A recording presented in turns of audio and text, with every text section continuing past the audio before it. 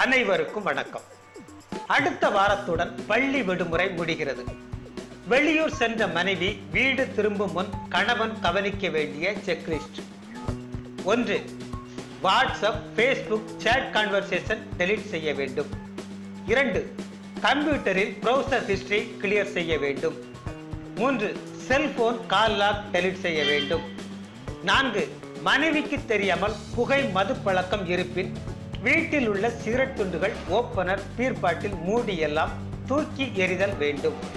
ஐந்து மனைவி வீட்டில் இல்லாததால் அனைத்து நேரங்களிலும் அலைபேசியில் கடலை வறுத்த தன் கேர்ள் ஃப்ரெண்ட்களுக்கு மனைவி வரும் நேரத்தை சொல்லி உஷார்படுத்த வேண்டும்.